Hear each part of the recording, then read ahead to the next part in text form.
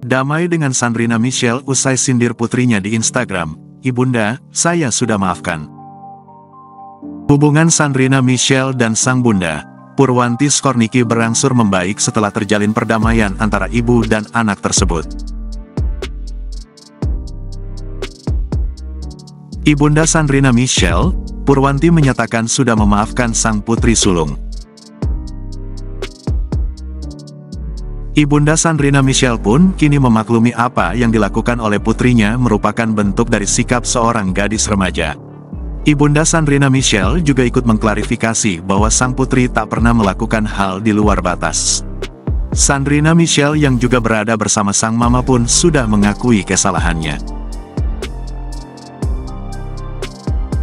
Menurut Sandrina Michelle, perseteruan tersebut lantaran dirinya yang jarang memberikan kabar kepada sang mama.